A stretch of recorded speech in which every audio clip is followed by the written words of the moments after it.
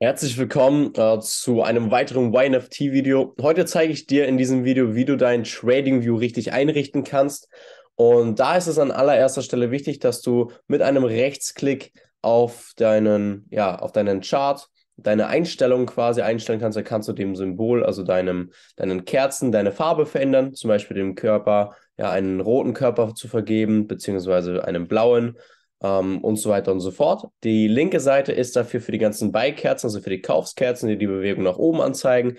Und die rechte Seite ist für alle Sell-Kerzen, beziehungsweise die Kerzen, die bearish oder nach unten gehen. Ganz wichtig. Dann kannst du dich hier definitiv durch einige Werte durchklicken.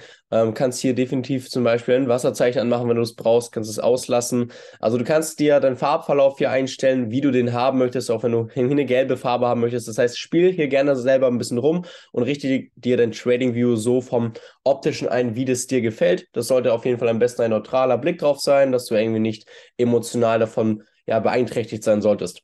Zum Allerwichtigsten kommen wir aber einfach mal, dass du hier oben auf jeden Fall eine Zeitspanne findest. Bei dir werden sicherlich nicht all diese Timeframes hier stehen. Dafür klickst du einfach auf dieses Drawdown-Menü, auf diesen Pfeil und dann kannst du alle Timeframes, die du benötigen kannst, mit einem Stern markieren. Ich kann dir grundlegend raten, je nach Strategie einfach mal dieselben zu markieren, die ich hier gerade habe. 5 Minuten, 15, 30, eine Stunde, zwei Stunden, vier Stunden, zwölf Stunden, ein Tag, drei Tage, eine Woche und ein Monat. Das sind eigentlich in der Regel alle, die du gebrauchen könntest. Ja, vielleicht kommen dann noch ein, zwei weitere dazu. Das kommt definitiv auf deine Strategie dann aber an. Schau, dass auf jeden Fall wieder ein Educator das Ganze macht. Auf einem weiteren Blick sehen wir hier auch die Indikatoren. Hier kannst du alle deine Indikatoren hinzufügen, die dein ja, ähm, Educator benutzt. Als kurzes Beispiel, wenn du bei Anthony Paris zum Beispiel sein solltest, kannst du zum Beispiel EMA 50 eingeben und dann hast du hier zum Beispiel EMA, also ein, ja, ein, ein ähm, Exponential ähm, Moving Average und kannst ihn hier zum Beispiel über deine Einstellung einstellen, ja, welche Farbe, welche Moving Average haben soll. Du kannst gewisse Sachen an- und ausstellen. Das wird dir aber jeweils dein Educator erklären, wie ihr das Ganze handhabt auf jeden Fall. Hier mit einem Klick auf dieses X kannst du das Ganze auch wieder entfernen. Jetzt kommen wir auch zu einem wichtigen Teil und zwar hier auf der rechten Seite deine Watchlist. Ähm, bei dir wird das sehr wahrscheinlich irgendwie so oder so ähnlich aussehen und das müssen wir einfach von vorne einmal komplett wegmachen. Und das machst du ganz einfach mit diesem X hier bei diesem Symbol. Einfach mal alle Symbole wegzuklicken. Und dann kannst du dir hier, je nach, ob du jetzt die Free-Version oder ein Premium, ähm, eine Premium-Abonnement bei TradingView hast, kannst du dir hier entsprechend mehrere Listen erstellen. Das kannst du, indem du hier auf neue Liste erstellen drückst. Ich habe jetzt eine Testliste zum Beispiel erstellt und dann kannst du hier über dieses Pluszeichen alle deine Währungspaare, deine deine Kryptos ähm, oder deine Indizes zum Beispiel hinzufügen. Ja, welche du hinzufügen solltest, zum Beispiel bei den Forex-Paaren, ja, das wäre ja zum Beispiel als kurzes Beispiel der Euro-US-Dollar. Und da fällt dir zum Beispiel auf, dass wirklich sehr, sehr, sehr viele Euro-US-Dollar-Paare aufploppen.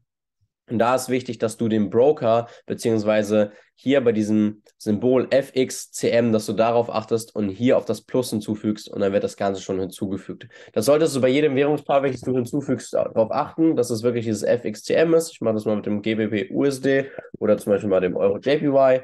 Ja, einfach darauf achten, dass du das FXCM definitiv hinzufügst.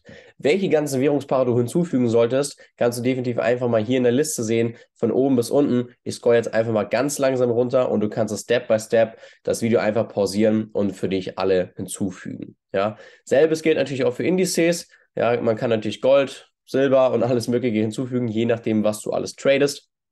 Achte darauf, dass du auch hier den richtigen Broker hast. Bei Gold würde ich tatsächlich auf den Broker Oanda raten, weil es den anderen hier gar nicht gibt, beziehungsweise bei Indizes generell.